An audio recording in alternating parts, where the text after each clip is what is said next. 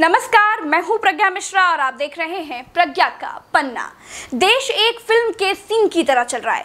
Film में एक दुग्गल साहब होते हैं, जो भूल जाते हैं कि वो कौन है। अगले दिन उनको याद आ जाता है। उसी तरह बंगाल में भीड़ बुलाकर कोरोना फैलाकर रैली करने वाले दिल्ली आते ही कोरोना वैज्ञानिक बन जाते हैं। देश को कोरोना का ज्ञान देने लगते हैं। वो भूल जाते हैं कि कुछ देर पहले वो खुद क्या करके आए हैं। आपका इतनी बड़ी संख्या में आना यह हम सबके लिए मेरे लिए एक बहुत बड़े सौभाग्य की बात है। ये भीड़ देश के प्रधानमंत्री के लिए सौभाग्य की बात है। क्या जब हमारा देश भारत कोरोना के मामले में कीर्तिमान बना चुका है तब प्रधानमंत्री को ऐसी भीड़ बुलाकर उस पर गर्व करना चाहिए। यह हम सबके लिए मेरे लिए एक बहुत बड़े सौभाग्य की बात है।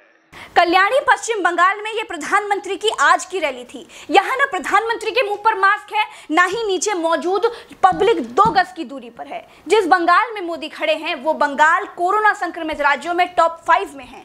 केवल सरकारी आंकड़ों में आज की तारीख में बंगाल के भीतर तेईस हज़ार से ज़्यादा कोरोना मरीज़ हैं।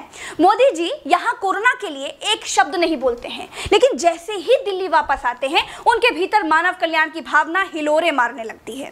जो व्यक्ति सब कुछ जानता है, जो व्यक्ति जगत जानकार है, उस व्यक्ति को अगर मैं कोरोना के बारे में कुछ कहूँ तो पत्थर पर सिर मारने जैसा होगा।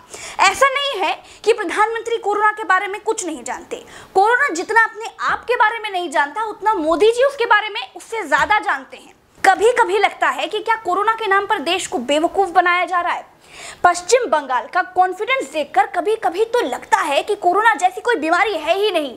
कभी कभी लगता है कि ये सब एक प्रोपोगेंडा है। ऐसा प्रोपेगेंडा जिसमें लॉकडाउन और नाइट कर्फ्यू के नाम पर लोगों को आर्थिक तौर पर गुलाम बनाने की तैयारी चल रही है।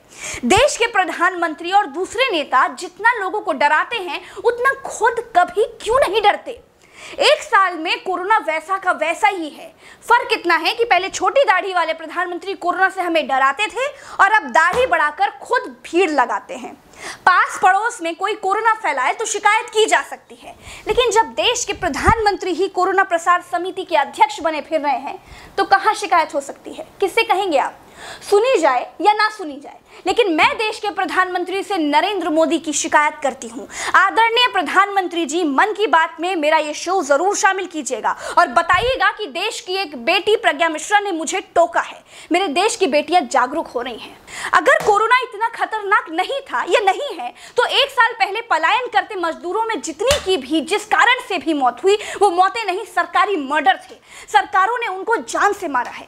क्या देश के सबसे जिम्मेदार व्यक्ति को कोरोना के प्रति अपनी जिम्मेदारियों को नहीं समझना चाहिए।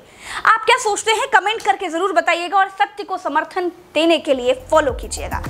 नमस्कार, जय हिंद।